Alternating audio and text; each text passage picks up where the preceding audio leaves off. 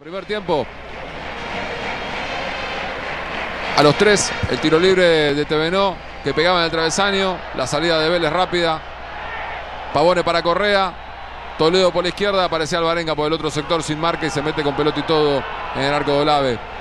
Ponía a Vélez en ventaja. La primera llegada para Belgrano termina en el gol de Vélez. A los ocho. Después del tiro en el travesaño de Óbolo, saca Guerre. Falla Lehmann, no se habla con Pierre Barrios. Y en la salida de Olave por arriba, con Pavone todavía en cancha, el goleador que pone 2 a 0 arriba en el marcador. Después se va a ir lesionado.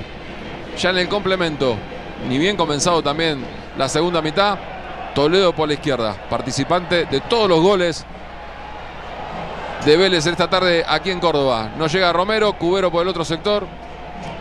Después del rechazo, Blas Cáceres la agarra mal de zurda. En realidad le erra, pero la agarra perfecto Correa. La estirada de Olave, la pelota se estrella entre el palo izquierdo y termina batiendo el arco pirata.